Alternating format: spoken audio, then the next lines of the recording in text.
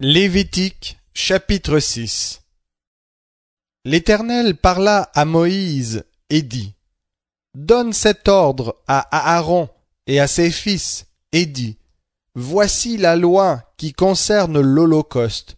L'Holocauste restera sur le foyer de l'autel toute la nuit jusqu'au matin, et le feu de l'autel y brûlera. Le sacrificateur revêtira sa tunique de lin et mettra des caleçons sur son corps.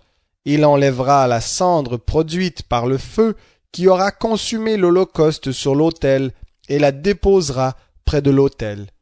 Puis il quittera ses vêtements et mettra d'autres vêtements pour emporter la cendre hors du camp dans un lieu pur. Le feu brûlera sur l'autel, il ne s'éteindra pas.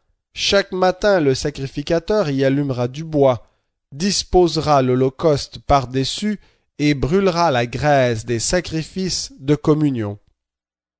Le feu brûlera continuellement sur l'autel, il ne s'éteindra pas. Voici la loi qui concerne l'offrande. Les fils d'Aaron doivent l'offrir devant l'Éternel face à l'autel. Le sacrificateur prélèvera de l'offrande une poignée de la fleur de farine, de l'huile avec tout l'encens ajouté à l'offrande, et il brûlera cela sur l'autel, comme mémorial d'une agréable odeur à l'Éternel. Aaron et ses fils mangeront ce qui restera de l'offrande, on le mangera sans levain. C'est dans un lieu saint, dans le parvis de la tente de la rencontre, qu'ils le mangeront. On ne le cuira pas avec du levain. C'est la part que je leur ai donnée de mes sacrifices consumés par le feu. C'est une chose très sainte, comme le sacrifice pour le péché, et comme le sacrifice de culpabilité. Tout mâle parmi les fils d'Aaron en mangera. C'est une prescription perpétuelle pour vos descendants au sujet des sacrifices consumés par le feu devant l'Éternel. Tout ce qui entrera en contact avec eux sera rendu sacré. L'Éternel parla à Moïse et dit, Voici l'oblation qu'Aaron et ses fils offriront à l'Éternel le jour où ils recevront l'onction.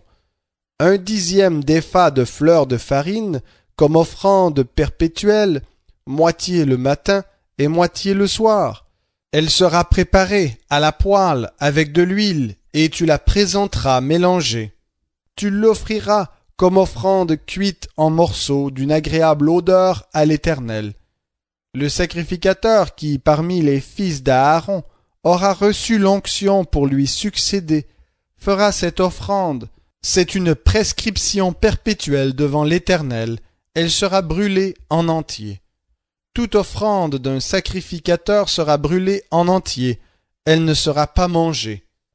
L'Éternel parla à Moïse et dit Parle à Aaron et à ses fils, dis-leur, Voici la loi qui concerne le sacrifice pour le péché. C'est dans un lieu où l'on égorge l'holocauste que sera égorgée devant l'Éternel la victime offerte pour le péché.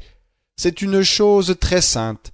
Le sacrificateur qui offrira la victime pour le péché en mangera. Elle sera mangée dans un lieu saint, dans le parvis de la tente de la rencontre, tout ce qui entrera en contact avec sa chair sera rendu consacré.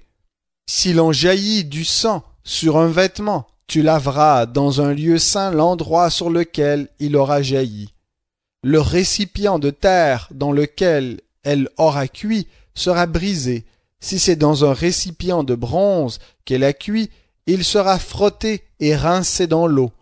Tout mâle parmi les sacrificateurs en mangera, c'est une chose très sainte.